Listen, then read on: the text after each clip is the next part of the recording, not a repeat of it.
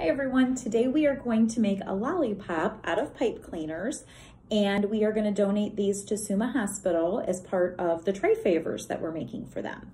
So go ahead and get out two um, pipe cleaners. They can be any color. And what we're gonna do is just start twisting them together. So go all the way down.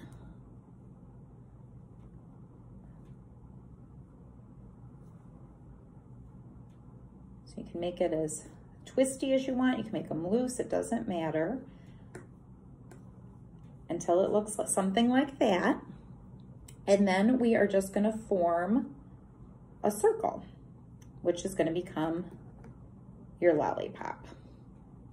So you can see I did a little circle there and I'm just gonna wrap it right around until it's all put together. And this one kind of looks like a peppermint lollipop. And then I have one that I did here with pink and um, purple. So really, like I said, you can use any color, but then we need to secure this part that keeps bouncing off.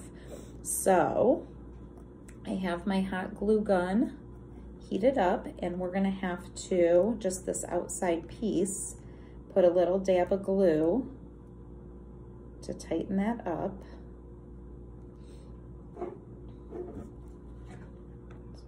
Just put some glue right there. And again, be careful because it's hot. And then I'm just gonna gently secure that on.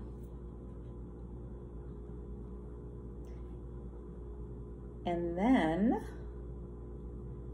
you've got your mini popsicle sticks. You can use regular size too if you've got them and you want to. And we're just gonna secure that right on the back. So again, I'll put some hot glue on my popsicle stick. And gently secure it. You can play with the pipe cleaners a little bit. And there is our lollipop. Um, if you're enjoying making these, by all means, use the pipe cleaners you have in the center and some extra popsicle sticks. You can always make more.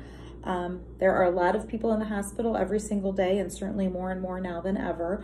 Um, so I know this would certainly brighten up their day to have this on their tray. So have a great day, everybody. Thanks for your help.